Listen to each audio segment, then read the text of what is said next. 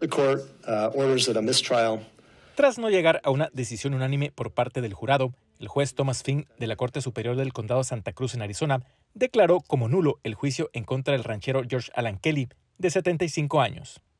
En mi opinión, la defensa es la que toma más ventaja de una decisión como la que se hizo aquí, de anular, ¿verdad?, eh, eh, este jurado porque no pudieron llegar a una decisión definitiva.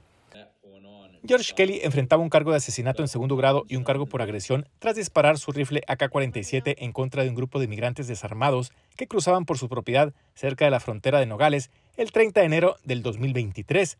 Gabriel Cuen Huitimea, de 48 años, originario de México, perdió la vida por un impacto de bala en la espalda.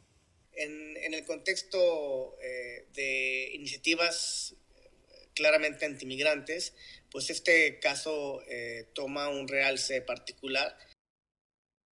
Durante el juicio que duró un mes, testificaron un inmigrante hondureño que presenció el ataque, así como distintas autoridades y la esposa de George Alan Kelly.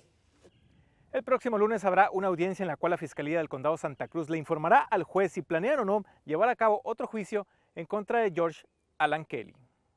Algo de lo que estará muy pendiente el gobierno de México a través de sus consulados en Arizona y un acompañamiento muy cercano a, la familia, eh, a las víctimas indirectas, hay que decirlo, eh, del señor eh, Rubén Pereira, Voz de América, Arizona.